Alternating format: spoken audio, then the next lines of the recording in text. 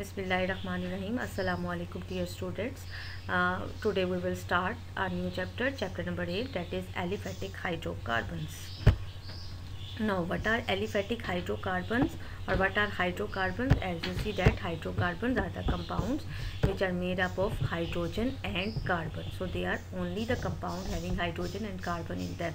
They are classified into two types that is acyclic compound means there is no cycle. They may be straight chain or branch chain compound and they are said as aliphatic compounds and in aliphatic compound we have the types alkanes, alkenes and alkynes. Similarly we are having the cyclic compound which are said as carbocyclic compound and the ring is cycle is only made up of carbon atoms. They are classified as aromatic and alicyclic.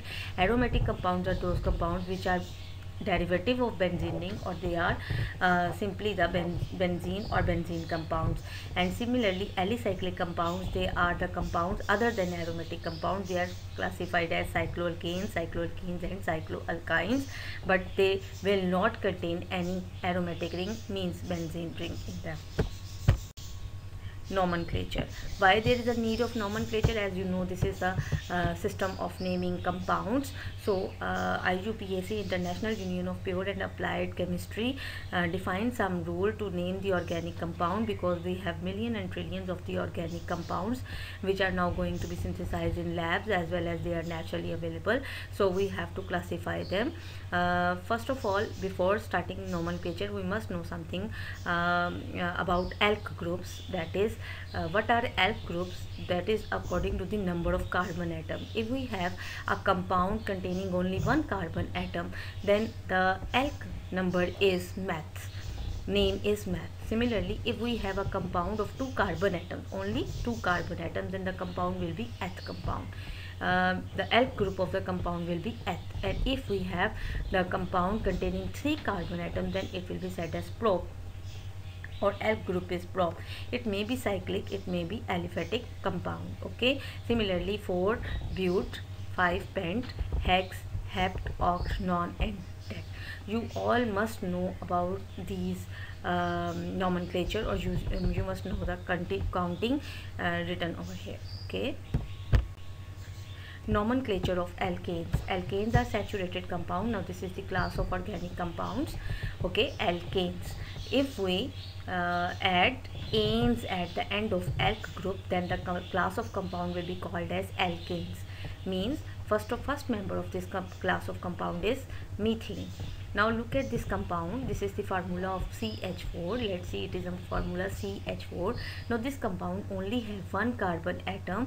So if it is having one carbon atom so its alk number is, is alk name is uh, meth group okay? Now if all the bonds are saturated one means single bond then the compound will be alkanes so methane this compound is methane okay? Similarly if now look at this compound this is two carbon compounds. So the alk group is eth if all the bonds are saturated one means single bond then this is ethene Similarly, this is a 3 carbon compound 1, 2 and 3. So this is prop, uh, its alk name is prop, alk group is prop and the compound name is propane. Butane, pentane, hexane, heptane, octane, nonane and decane.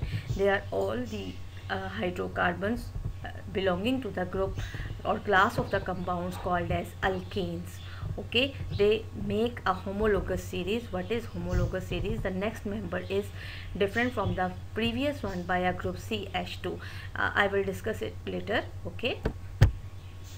Now uh, we must know about alkyl groups as well. Alkyl groups as the name indicated you can see alk and yl so if we add yl at the end of alk group that it will be called as alkyl group. Means methyl ethyl propyl butyl and so on. Now uh, if we remove one hydrogen atom from an alkane we will obtain an alkyl group. Now what is an alkyl group?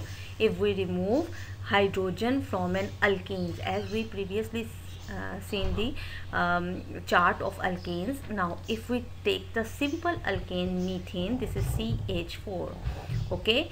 Uh, I have written one hydrogen as separated one okay? But CH3 and it, it is already CH4 okay? Now if we remove one hydrogen from this methane then it will be called as methyl radical.